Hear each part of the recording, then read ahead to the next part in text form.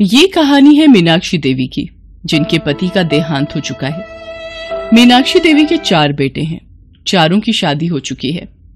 अब चार बहुओं वाला घर हो और सन्नाटा रहे, ऐसा भला कभी हो सकता है? मैं सुबह का नाश्ता बनाकर गैस साफ़ करके गई थी। अभी आई तो देखा गैस तो छोड़ो, पूरी स्लैब पर चाय बिखरी पड़ी है। मैंने दूध गर्म किया था, चाय तो मैंने अभी पी ही नहीं। और मैं तो अभी अभी रसोई में आई हूँ। बड़ी भाभी आप चाय चाय कर रहे हो? सुबह जो चटनी के लिए धनिया साफ़ करते करते ढेरों डंडिया फर्श पर गिरी थी, वो भी किसी ने साफ़ नहीं की। ये देखो, झाड़ू में कूड़ा कम और धनिया की डंडिया ज़्यादा है। अब तो साफ़ हो गया कि तुमने ही चाय गिराई है। अगर जरा सी चाय गिर भी गई तो कपड़े से पोछ देनी थी। बेकार में इतना शोर मचाया। अब मैंने तो नहीं बोला कि इन्होंने कूड़ा फैलाया। अब कल पूनम ने केक बनाया था। ढेरों बर्तन गंदे कर दिए। कितना झूठ बोल रही हो सीमा? मैंने बर्तन धो दिए थे।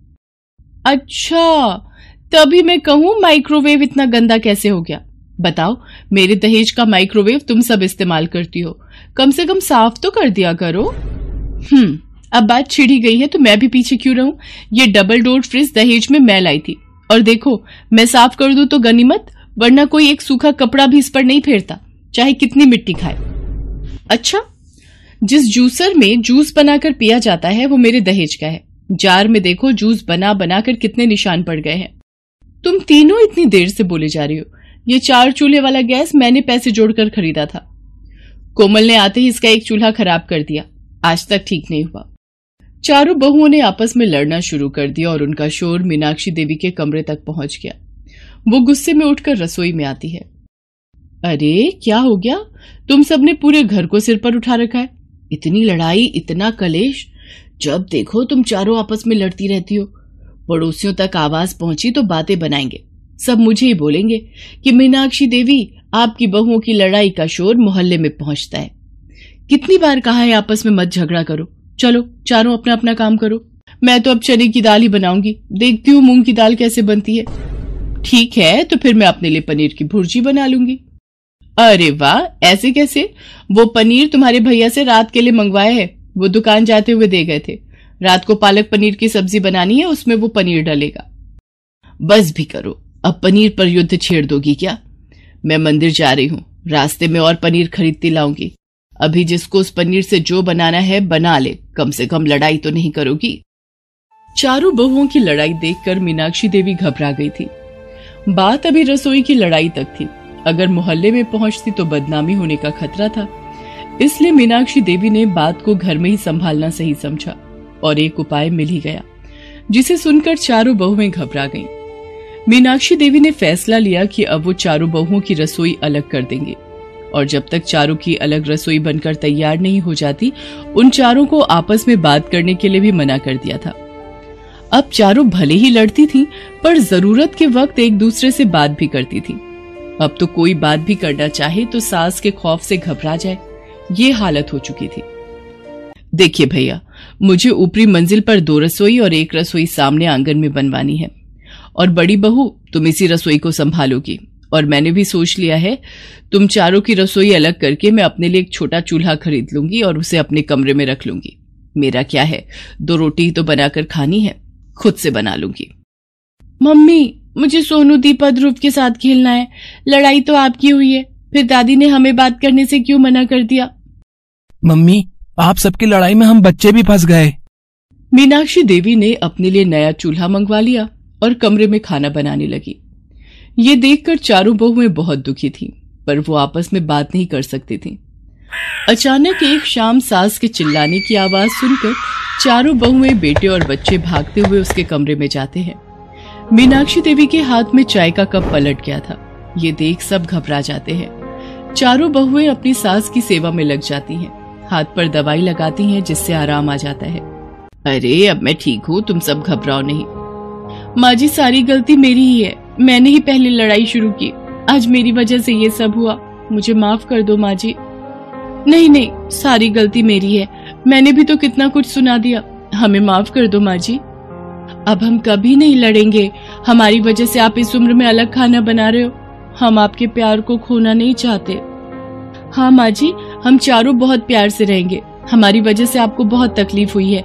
हम एक ही रसोई में चारों मिलकर रहेंगे और आपकी खूब सेवा करेंगे। अपनी चारों बहुओं की आँखों में आँसू देखकर मीनाक्षी देवी उन्हें गले से लगा लेती है। चारों भाई और बच्चे भी ये सब देखकर बहुत खुश होते हैं।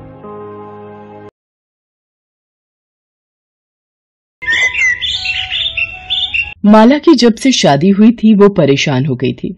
सारा दिन बस घर के काम करते रहना। ना कहीं आना, ना जाना। इसकी सबसे बड़ी वजह थी माला की चार सास, यानी कि माला के ससुर ने चार शादियाँ की थी। ससुर तो परलोक सिधार गए, पर माला के लिए चार सास छोड़ गए।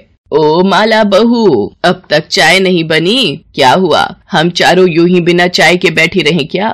देखना रमा, अगले साल मैं अपने बिट्टू की शादी करूँगी ना तो मेरी बहू तुम्हारी एक आवाज़ में काम करेगी। और मेरे और सुषमा के तो बेटा है नहीं। बेटियों को हमने ससुराल भेज दिया। वही तो हमने तो माँ भाभी आपको कभी अपनी सौतन माना ही नहीं। बड़ी भाभी की तरह ही माना है। इसलिए हम सोचते हैं, आपकी बहू आई है तो हम भी सास बनकर बहू का सुख उठाएँ। अरे, तुम सब माला की सास हो। माला बहू की एक नहीं, चार सास हैं, और माला को अपनी चारों सासों की सेवा एक सी ही करनी होगी।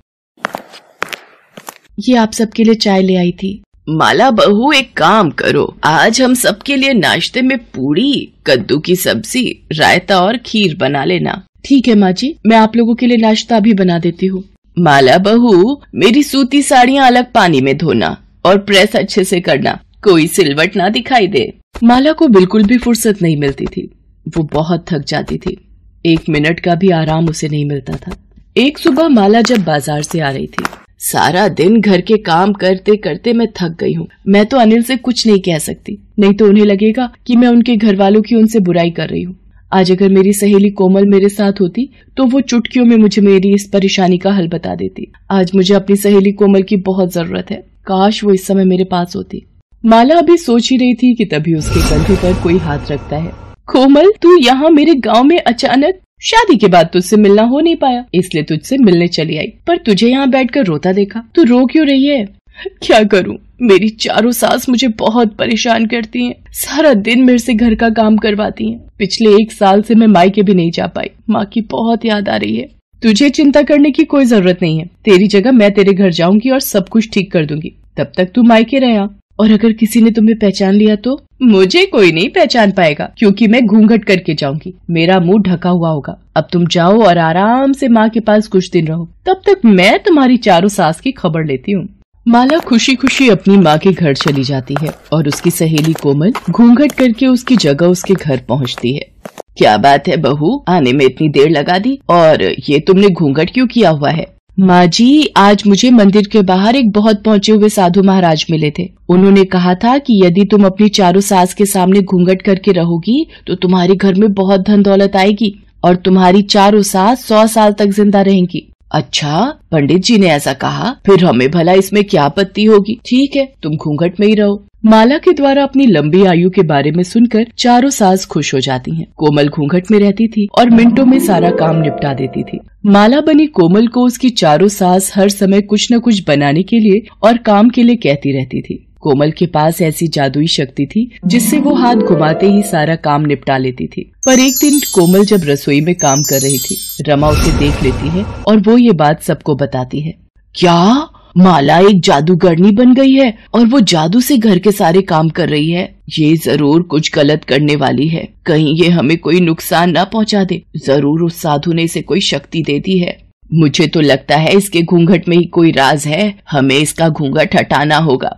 चलो, हम सब अभी चलकर इसे घूंघट हटाने के लिए कहते हैं। सब मिलकर कोमल के पास जाती हैं और उससे ज़बरदस्ती अपना घूंघट हटाने के लिए कहती हैं। इतनी देर में अनिल भी वहाँ आ जाता है। उसे सारी बात पता चलती है। माला की जगह कोमल को देखकर सब हैरान रह जाते हैं। तुम मेरी माला नहीं हो। कौन हो तुम? तभी तुम बहुत दिनों से मुझे व्रत और पूजा का बहाना देकर अलग रह रही थी। बताओ मेरी माला कहाँ है? मैं माला की बचपन की सहेली कोमल हूँ। माला अपनी माँ के पास मायके में है। ये देखो माला के साथ इन सबने कैसा व्यवहार किया है। इसलिए वो बहुत तंग आ गई थी। उसने तुमसे भी कभी कोई शिकायत नहीं की और खुद ही सारे दुख दर्द झेलती रही। कोमल एक दृश्य दिखाती है जिसमें उसकी चारों सास बैठी थी और माला सारा काम अकेले कर रही थी। अनिल गुस्से में आ जाता है।